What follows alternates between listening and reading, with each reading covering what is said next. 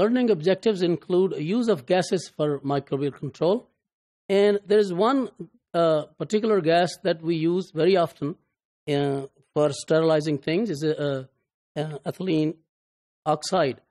This gas is used for, as I mentioned, that there are various techniques, physical methods uh, um, for eliminating microbes, but there are situations where we cannot use those those uh, other means, physical means like filtration was used for uh, liquid media, but the, and, and and I mentioned that when the liquid contains some damage, then some sensitive ingredient that could be damaged by heat, we use filtration. But what about if there's something uh, that is a physical object, uh, not a liquid, a solid object, and heat could also destroy it. So this gas, ethylene oxide, it's a kind of chemical basically treatment, but, but because this, this exists as a gas, um, so we can use um, many heat sensitive it items for sterilizing them. We can use eth ethylene oxide.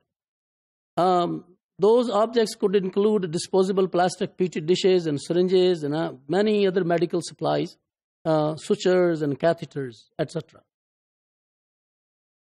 It is a very strong alkylating agent, basically binds DNA and proteins. And when something binds to DNA and proteins, the DNA is not able to replicate, so that this would result in mutations and, and the bacteria would die, would not be able to replicate. There are other characteristics of the uh, this gas, ethylene oxide. It, it, it rapidly penetrates packing material, even the plastic wraps.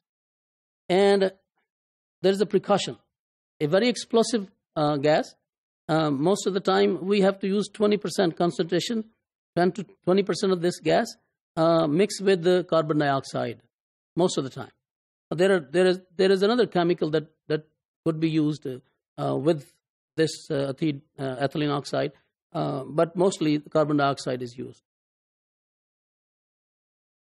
Now, of course, there has to be a certain concentration of this gas, and it has been noticed that humidity, some moisture is also needed, and there is also a temperature uh, which is uh, needed for achieving complete sterilization with this gas.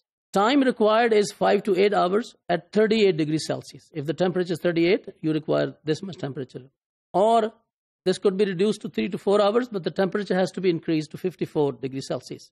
And the humidity has to be between 40, 40 to 50%. The, most of the time, the concentration that is used is 700 milligram per liter.